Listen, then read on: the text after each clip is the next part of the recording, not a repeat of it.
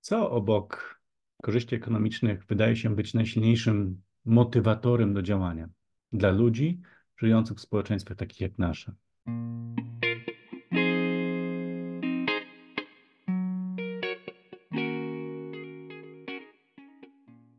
W pewnej firmie prawniczej prawnicy tam zatrudnieni pracowali po 50, ponad 50 godzin tygodniowo. Zarabiali oczywiście duże pieniądze, ale Anonimowa ankieta ujawniła, że większość z nich była chętna do tego, żeby zrezygnować z 10% czasu pracy, nawet gdyby to się miało odbyć kosztem 10% ich zarobków. Stać ich było na to. Tak pokazała anonimowa ankieta. Większość z nich była za. Natomiast w momencie, kiedy zaproponowano pracownikom wprowadzenie takiego rozwiązania, nikt z niego nie skorzystał. Zaraz. Przed chwilką ujawniali preferencje do tego, żeby skrócić czas pracy nawet kosztem zarobków, a za chwilę, kiedy mogli to zrobić, tego nie zrobili? Gdzie tu sens, gdzie tu logika?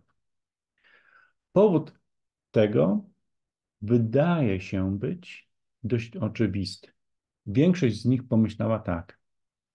Tak, ja bym tak zrobił, ja bym tak zrobiła, pod warunkiem, że inni też tak zrobią, inni by też tak zrobili. Większość z nich prawdopodobnie obawiała się, że jeżeli skrócą czas pracy, to jednocześnie spadną w rankingu tych, którzy mają szansę na awans, spadną w rankingu tych, którzy mają szansę na to, żeby stać się partnerami w firmie prawniczej, spadną w stosunku do tych, którzy nie skrócą czasu pracy. Ci prawnicy bali się tego, czego wielu z nas też się boi. Oni nie byli inni od nas, nie byli dziwni, nie byli wykrzywieni. Ci ludzie bali się utraty statusu społecznego. Zauważcie, jeżeli mamy sytuację, która jest dla nas zadowalająca, jest nam dobrze w tym, co robimy, gdzie doszliśmy w swoim życiu, co osiągamy i tak dalej, i tak dalej, to możemy w tej sytuacji trwać. Dochodzę do pewnego poziomu i jestem absolutnie zadowolony z tego, co zrobiłem, co osiągnąłem, co, co mam. Problem pojawia się wtedy, jeżeli obok mnie pojawia się ktoś, kto osiąga więcej niż ja, kto jest bogatszy, kto jest przystojniejszy, ładniejszy, atrakcyjniejszy, kto ma większe osiągnięcia w tym, co robi, a co ja również robię. Ta osoba nie tylko zmienia normy dotyczące tego, co powinno być osiągane, ale też sprawia, że ja czuję się gorzej.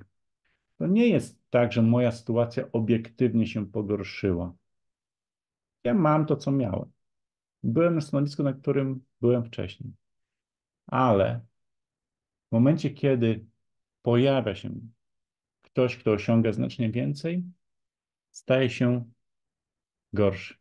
Często słyszy się, że jak stoję w miejscu, to się cofam. Nie, nie cofam się. Stoję w miejscu, to stoję w miejscu. Natomiast mamy takie wrażenie, że się cofamy, bo inni uciekają do przodu. Karol Marx napisał w jednej ze swoich książek coś takiego. Jeżeli mieszkam w domu, który zaspokaja wszystkie moje potrzeby mieszkaniowe. Jest dobrze, mam fajny domek, w którym, w którym mieszkam.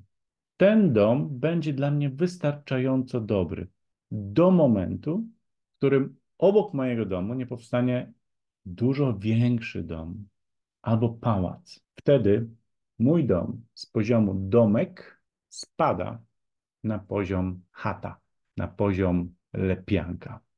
Mój domek, który mi dotychczas wystarczał, skontrastowany z tym, co mają inni, nagle okazuje się być niewystarczająco dobry. To jest utrata statusu. I to nie jest tak, że ludzie dążą do podwyższenia statusu, bo chcą konkurować z innymi. Owszem, część z nas pewnie tak, tak to robi, ale większość z nas, tak jest moje zdanie, przejmuje się statusem od drugiej strony. Co to znaczy? To znaczy, że dostrzegam zagrożenie dla tego, jak ludzie mnie nie oceniają, jak mnie postrzegają. Czuję się gorszy. Jeżeli mam stary samochód, którym jeżdżę i który zaspokaja wszystkie moje potrzeby dotyczące transportu, to wszystko jest dobrze, jeżeli do momentu, gdy wszyscy wokół mnie nie jeżdżą lepszymi samochodami. Wyobraźcie sobie, jakbyście się poczuli. Powiedzmy, że macie 20-letni samochód typu, nie wiem, Opel Corsa i jedziecie na spotkanie, gdzie wszyscy przyjeżdżają co najwyżej trzyletnimi, wypasionymi furami. Czy nie ma takiego poczucia, czy nie ma w Was takiego poczucia podrzędności? Gdzieś takiego wrażenia, że kurczę, inni to jednak mają lepiej. Nie o same porównania mi tu chodzi. To, o czym opowiadam, jest głęboko potwierdzone przez psychologię i psychologię ewolucyjną, psychologię ewolucyjną w szczególności. Ewolucja sprawiła, że dbamy o nasz status. Chcemy mieć jak najwyższy status w społeczeństwie z prostego powodu. Osobnik, który ma wyższy status w społeczeństwie, ma większe szanse na dostanie jedzenia i większe szanse na prokreację. W nowoczesnym społeczeństwie ta zasada ciągle działa. Ludzie z wyższym statusem osiągają więcej, mają większe możliwości. Niekoniecznie chodzi o prokreację i dostęp do jedzenia, ale o wiele innych ważnych dla nas, o zaspokajanie wiele innych ważnych dla nas potrzeb. Wyrazem dbania o status często jest epatowanie um, strojem, bogactwem, luksusem. Te wszystkie zdjęcia na Insta, które pokazują nam ludzi, którzy spędzają jakże boskie wakacje na Malediwach, służą temu, żeby potwierdzać swój status. Tak? Zobaczcie, wy, biedni ludzie, jaki ja jestem bogaty i na co mnie stać. Badania mówią wprost. Tym, co jest najbardziej cenione przez ludzi w społeczeństwie, jest mądrość, umiejętności i zorientowanie na pomaganie innym.